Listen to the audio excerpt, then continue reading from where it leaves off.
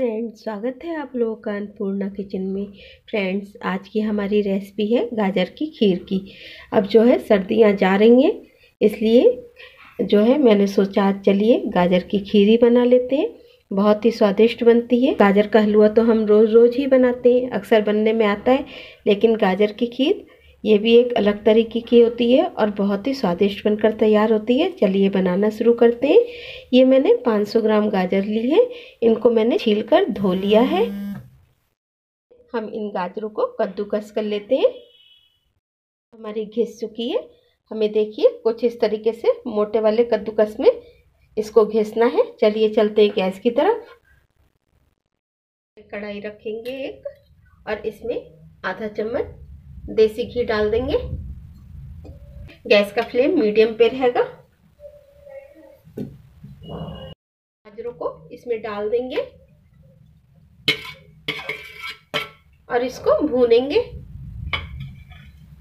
इसको हमें इतना भूनना है कि इसका कलर चेंज करना है। हम इसको पाँच मिनट के लिए ढक देंगे। गाजरों को देख लेते हैं। गाजर काफ़ी अच्छे से उबल चुकी है और इसने कलर भी चेंज कर लिया है अपना। अब हम इसमें चीनी डालेंगे। चीनी, मैंने 100 ग्राम चीनी लिए आधा किलो गाजर में 100 ग्राम चीनी पड़ जाती है आराम से, क्योंकि गाजर भी अपने आप में मीठी होती है। अब हम इसको थोड़ी देर और इसी तरीके से उबालेंगे, जिससे चीनी अच्छे से इसमें मेल्ट हो जाए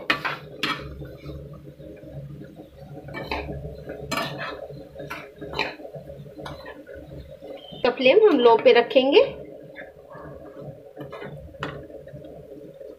और इसको पाँच मिनट के लिए और ढक देंगे। इस बीच में थोड़ा सा एक काम और कर लेते हैं।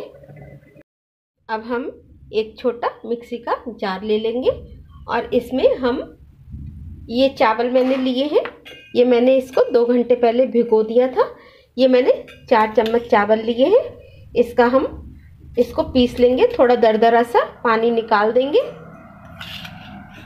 और इन चावलों को पीस लेंगे।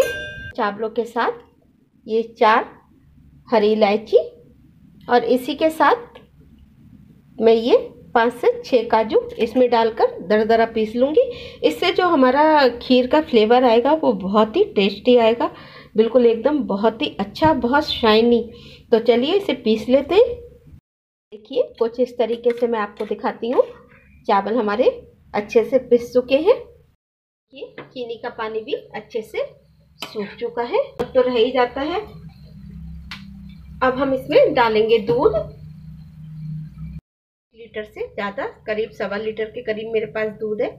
वो इसमें डाल दूँगी। दूध इसमें ज़्यादा ही अच्छा लगता है।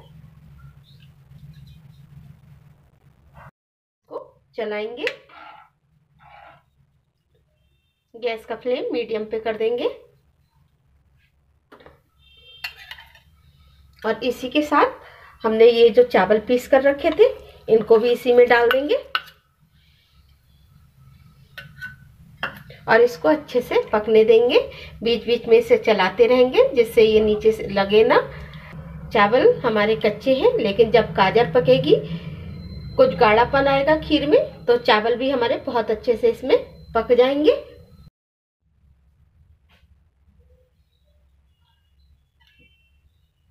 अब हमें इसे लगातार इतना पकाना है कि दूध इसमें आधा रह जाए और हम एक इसमें गाढ़ापन आ जाए।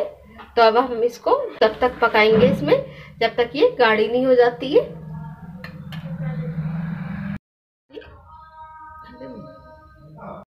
खीर काफ़ी गाढ़ी हो चुकी है। अब मैं गैस का फ्लेम बंद कर दूँगी और इसमें अब हम थोड़ी सी मेवा डालेंगे।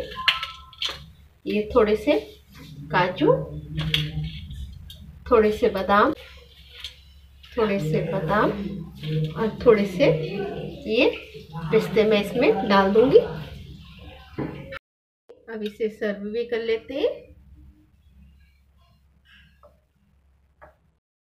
ये गाजर की खीर बनकर तैयार हो चुकी है।